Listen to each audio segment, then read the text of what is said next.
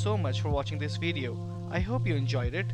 You can support this travel and exploration YouTube channel by subscribing to it and sharing it with your friends and family. Thanks so much for watching.